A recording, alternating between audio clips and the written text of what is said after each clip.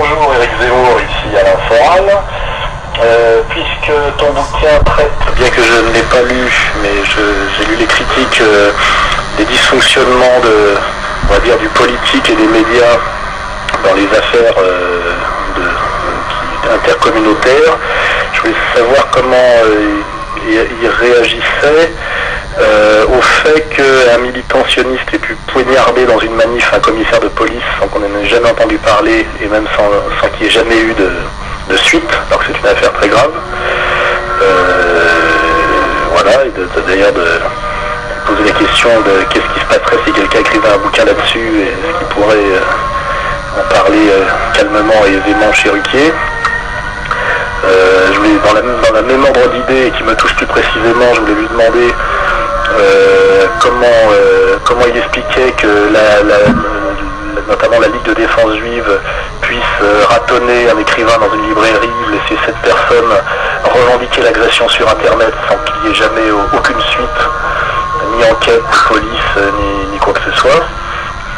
Sachant que la LDJ est interdite en Israël et aux États-Unis et à pignon sur rue en France, comme on l'a déjà vu dans les documentaires sur la 2. Et dernière question.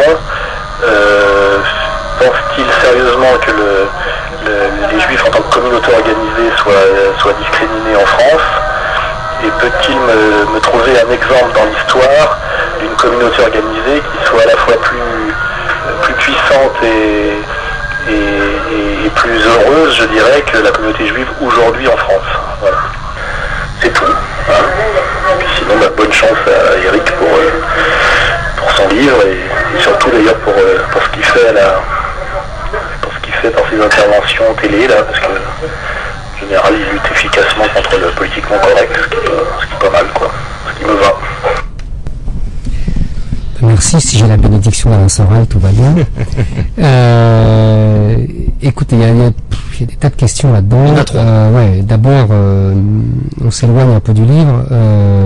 le comportement de la Ligue de défense juive à, l'égard, à son égard est proprement scandaleux, c'est évident. Donc voilà, qu'est-ce qu'on vous dit d'autre? Sur le fait qu'elle existe sur le territoire français, vous qui vous dites républicain, je ne connais pas ces gens, je ne les connais pas. Donc, euh, par exemple, le ministère de l'Intérieur leur prête ses locaux pour leur entraînement, par exemple. Non, c'est possible, j'en sais rien. Honnêtement, j'en sais rien, j'ai pas d'avis Je les connais pas. D'accord. Donc honnêtement, je peux pas vous dire. Euh, je, vous sens un petit peu euh, comme même si vous le saviez, vous n'avez pas envie d'en parler. Non, je, sais, non, je vraiment. Ah, je suis étonné de votre part quand même. Bah, vous avez tort. Parce que nous, on est des débutants à côté de vous. Non, non, mais vous savez, moi, je pratique pas.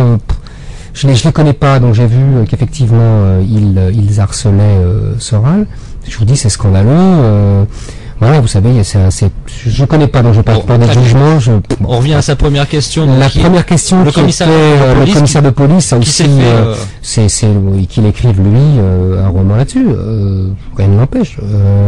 moi, si c'est vrai, si c'est évidemment c'est un crime, il doit être puni. Qu'est-ce que vous voulez que je dise? C'est des questions dans lesquelles j'ai des réponses difficiles parce que qui, a envie d'écrire un livre, non, j'ai pas travaillé dessus. Je connais pas cette histoire. Voilà, si c'est vrai.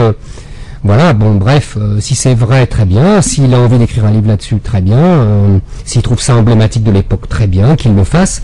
Euh, on va dire que dans votre analyse, dans l'analyse que vous menez, justement sur la France, mmh. identitaire communautaire, mmh.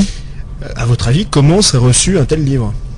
Au-delà de... mais je pense qu'il y aurait, il y aurait. Parce que le vôtre est pas bien reçu, mais vous êtes quand même reçu sur France 2, sur France 5 à deux reprises. Oui, oui, oui. Non, mais moi je suis sur France Inter. Enfin, pas besoin de faire la liste. Je crois que tout le monde est d'accord. Voilà. Non, non, non, mais je, ben, euh, je suis reçu, mais euh, le livre fait scandale. Euh, je suis parfois insulté.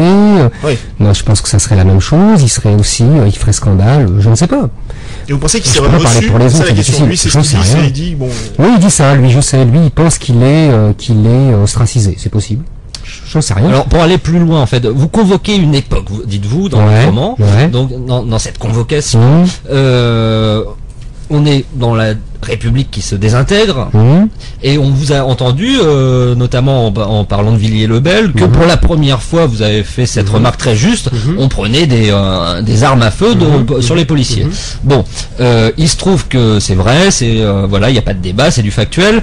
mais ce que disait Soral, c'est que on aimerait bien qu'il y ait aussi des chroniques cœur aussi médiatisés que vous, qui disent la même chose sur cette république qui se désintègre, et cette fois avec des communautés juives. Enfin, c'est ce que la brochure. Euh, franchement, il n'y a pas la LDH dans votre non, non, non, parce que c'est pas le thème du livre. LDJ, LDJ. LDH, c'est pas le thème du livre. Pardon. Vous n'allez pas me faire parler d'autre chose. Non, non, non. Mais non, puis vous avez dit que vous ne connaissiez pas. Donc... Je connais pas. Mais en plus, vraiment, je connais pas. Je vous assure, j'ai entendu parler. Je veux dire, quand je dis je connais pas, je connais pas précisément. Vous avez compris. Un nom qui Et ça vous intéresse ou pas?